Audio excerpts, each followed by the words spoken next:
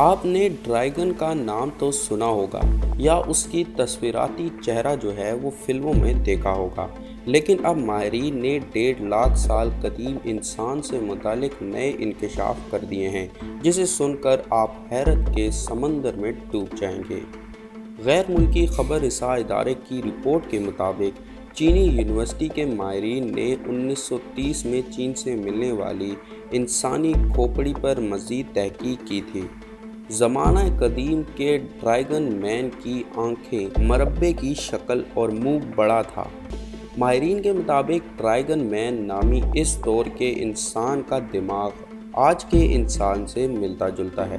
तहम इसकी आई सॉकेट मरबा शक्ल के थे। इसके अलावा डेढ़ लाख साल पहले ज़मीन पर मौजूद इस इंसान के दांत भी बड़े थे। याद रहे कि चंद माह कबल मशरकी कीनिया की एक गार में छोटे बच्चे की हड्डियाँ मिली थी, जिसके मुतालिक कहा गया था कि ये अफ्रीका में सबसे कदीम तदफीन है। नेचर नामी जरीदे में बुद्ध को शाया होने वाली नई तहकीक के मुताबिक इस बच्चे की उम्र ढाई से तीन साल के दरमियान थी। एक अंदाजे के मुताबिक इसकी बकायात तकरीबन आठ हज़ार साल पुरानी हैं। माहरीन का कहना है कि दस्तियाब शवाहिद बताते हैं कि इस बच्चे की तदफीन मुनज़म अंदाज में की गई थी और शायद इसके जनाजे में बच्चों की बड़ी तादाद भी शरीक हुई थी। बाकी रह जाने वाली हड्डियों से मालूम होता है कि बच्चे को दाई तरफ़ रुख करके लिटाया गया था।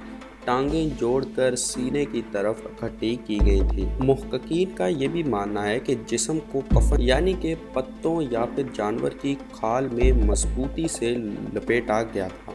दोस्तों, इस बारे में आप सबकी क्या राय है? क्या आपको लगता है कि ये जो हड्डियाँ मिली हैं, ये ढाई लाख साल पुरानी हो सकती हैं या फिर नहीं। इस बारे में आप सबकी क्या राय है नीचे कमेंट बॉक्स में ज़रूर बताइएगा। वीडियो पसंद आई हो तो लाइक ज़रूर कीजिएगा।